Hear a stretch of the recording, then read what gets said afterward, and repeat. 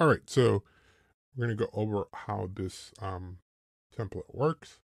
And so when you copy the Airtable database, you're going to have, um, you're going to see these two views. One is convo, one is fiction rating, and then the prompt form. Um, this prompt form is where you're going to submit your prompt. Um, and then it's grabbing the templates from here. So these are the ones that I've included, and you can of course add more as you you know or delete whatever you want.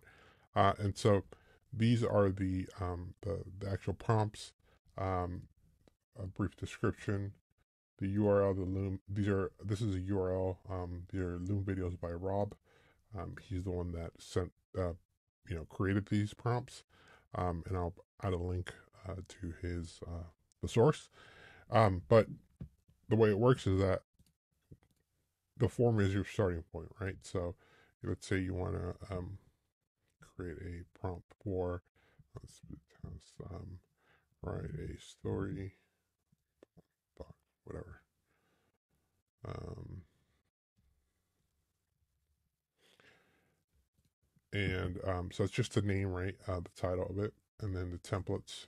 Uh, so it's grabbing the templates from here allowing you to um, add them here. So first you want to format using Markdown, um, and then we want to, um, uh, let's say, a persuasive storyteller, right?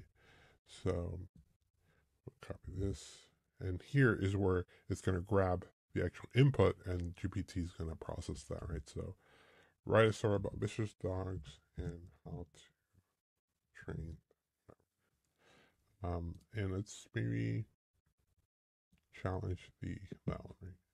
Um, GPT version. There's convo and there's fiction.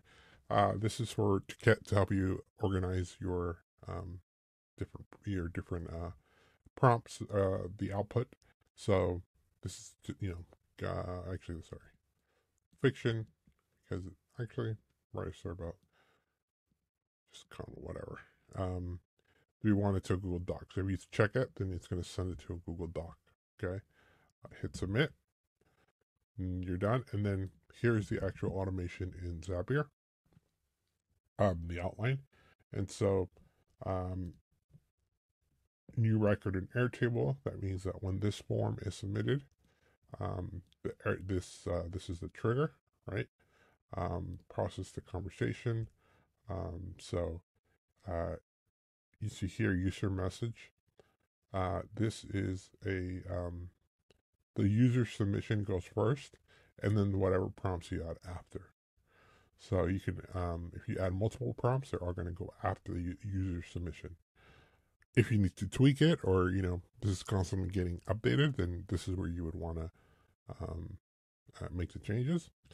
Um, instructions, you know, you're a, a helpful assistant.